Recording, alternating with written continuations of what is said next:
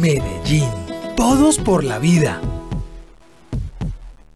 Estamos muy satisfechos de podernos vincular a estos eventos eh, que lidera el despacho de la primera dama. Nosotros somos unos convencidos que los niños y la educación son factores fundamentales para eh, crecer y aportar en la sociedad.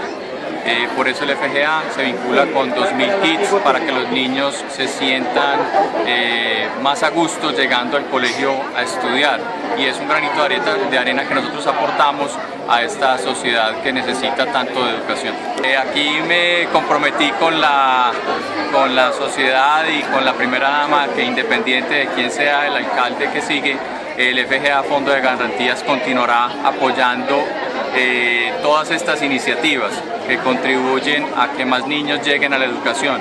Entonces para nosotros es muy satisfactorio eh, poder aportar estos kits para que los niños lleguen con unos útiles eh, mínimos necesarios a atender o a llegar al estudio del colegio.